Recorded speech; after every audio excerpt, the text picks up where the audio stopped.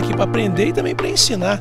Ou seja, o Distrito Federal trouxe para cá uma experiência que foi adotada pelo Conselho Federal de Administração, que é uma parceria no campo da responsabilidade social, de ajudar o pessoal do cadastro único do governo federal, ou seja, dar condições de empregabilidade, levar a capacitação àquelas pessoas em condição de vulnerabilidade. E apresentamos isso para os 27 regionais, para que eles possam fazer o mesmo trabalho que o CRDE foi pioneiro e já fez aqui no sistema.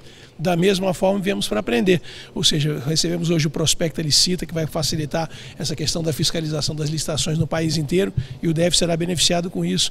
Nós teremos também a apresentação do pessoal de Santa Catarina, trazendo grandes experiências para a gente no campo da inovação, da tecnologia, para atender melhor os profissionais. Esse é o objetivo, um fórum de presidente, discutirmos, trocarmos experiência e aprimorarmos cada vez mais a prestação do nosso serviço a você, profissional, que está aí usando os nossos serviços. Esses momentos do fórum de presidentes, das plenárias do sistema CFA-CRAs, são momentos que são extremamente importantíssimos para a profissão, porque são nessas reuniões que os, os, profissionais que fazem o sistema discutem e traçam estratégias né, para que a profissão avance, para que o mercado de trabalho seja garantido e que os profissionais de todos os estados eh, obtenham esses benefícios né, em razão uh, da contribuição que fazem para o sistema CFA-CRAs. Eu acho que as ferramentas que o sistema uh, disponibiliza para cada regional exercer sua atividade finalística, principalmente quando se fala em fiscalização, uh, nascem de reuniões como essa,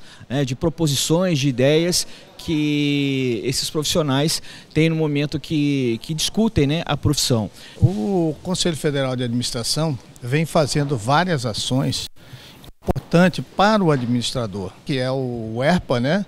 O encontro é, regional de administração, que será sediado em Cuiabá e que nós estamos com um tema importantíssimo, onde hoje a gente vem falando de sustentabilidade né, e o agronegócio vem sendo o vilão.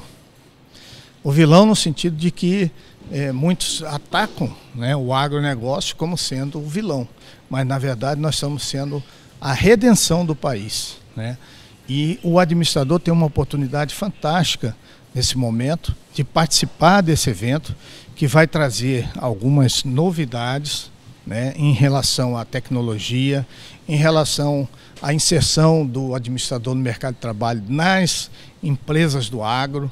Então são ações assim importantíssimas que participem. Entrem no site do, do CRA, do CFA. Segundo fórum né, de presidentes, muito importante, muito rico, muitos debates, discussões é, no tocante à qualificação profissional, a questão do, da fiscalização em si, é, grandes projetos né, que nós vamos aplicar lá no estado de Goiás. Né? Vocês aí, administradores, administradoras de Goiás, não perde por esperar. Grandes novidades estaremos levando para vocês. Inclusive aqui, né, é, já quero colocar aqui o nosso agradecimento ao CFA, né, através do, da aprovação do PRODER, e um dos projetos nós já foram aprovados, que é a aquisição de um veículo para fiscalização.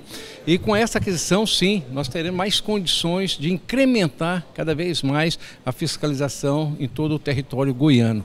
Essa é a missão dos conselhos de fiscalização, principalmente de Goiás, onde nós levamos muito a sério essa questão de preservar o mercado de trabalho, mas em prol da defesa da sociedade.